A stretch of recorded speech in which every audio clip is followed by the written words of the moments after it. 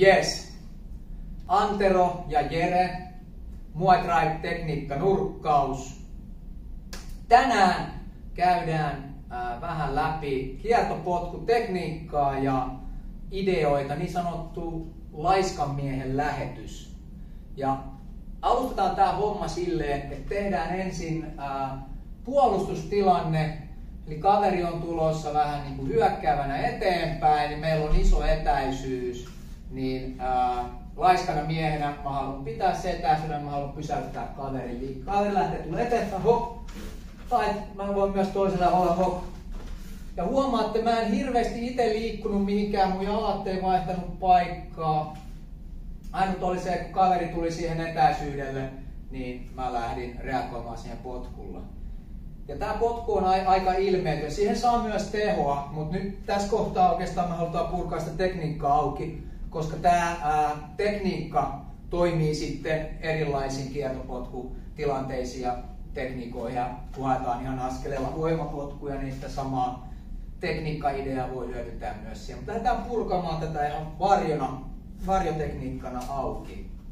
Ja tosiaan nyt ajatus on se, että me hyödynnetään pääasiassa pohkeiden voimaa ja kaikki muu olisi mahdollisimman rentoa, mahdollisimman vaivatonta. Ollaan otteluasennossa ja ää, mä voin olla vähän stabiilimpi tai mä voin olla pienessä joustossa pohkeiden varassa. Sille on väliä. Mutta ajatus on se, että me käytetään meidän pohkeiden voimaa. Voidaan sitä ideaa lähteä avaamaan sillä, että jos mä oon nyt tässä otteluasennossa vasenkätisenä, ää, tästä mä voisin lähteä tekemään ihan suoraan tästä pohkeilla hyppyä, missä mä käännän ää, mun kropan 180 astetta melkein. Mutta totta kai, koska me halutaan olla kontrollissa meidän tasapainosta, meidän painopisteestä, niin me ei lähde tekemään hyppyä, vaan me tehdään ää, pohkeilla terävä nosto siihen pisteeseen, että jalat pysyy jalmaassa. Pum! Eli ainoastaan ylöspäin tulee liikettä ja lantio lähtee kiertoon. Hop. Tämä liike tapahtuu pääasiassa ylös. Pohkeella ylös ja siinä oikeastaan se koko juju. Ja kun mä uh, reagoin tilanteisiin, niin oikeastaan mä vaan lähden hakemaan sen mun painopisteen ylöspäin. Eli mitä tässä äsken nähtiin, kun Jere lähti tulee eteenpäin, hop, sieltä mä nostin painon ylös tai no. Eli ei mitään sen ihmeempää tarvinnut tehdä. Totta kai mun lantion pitää liikkua ja sit, siitä tuleekin seuraava varjoharjoite. Ja kun mä lähden tekemään sen noston, mun paino pitäisi siirtyä sinne tukijalan päälle ja sen seurauksena toinen jalka lähtee liikkumaan suoraan eteenpäin. Huom eteenpäin, ei minnekään viistoon, vaan eteen. Hop. Hop. Yläkropan painopiste pysyy tukialan päällä. Se voi vähän kallistua taaksepäin, mutta ettei lähdetä menemään semmoiseen kippiasentoon.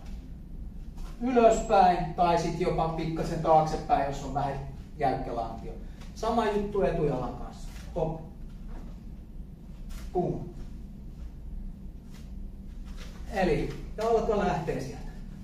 Voi, ja palautus. Hup, ja palautus. Nyt tämän saman tekniikan voi tehdä myös vaihtoaskeleja, jos puhutaan etujalapotkusta.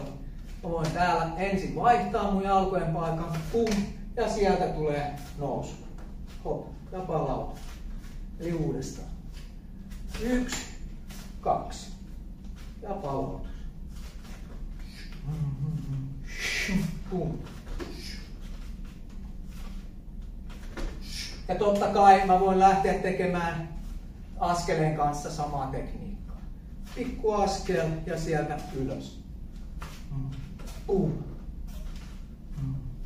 Pum.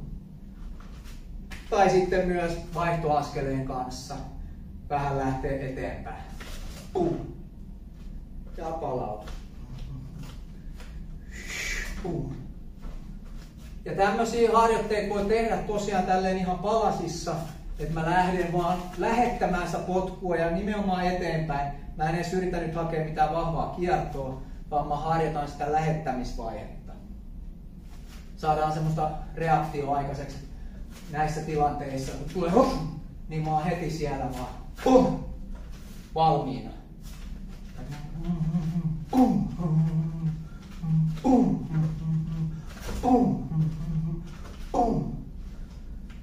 Ja pikkuhiljaa sitä hommaa voidaan lähteä viemään eteenpäin niin, että siihen tulee mukaan tukialan kierto. Haluatko Jere avaa sitä vähän?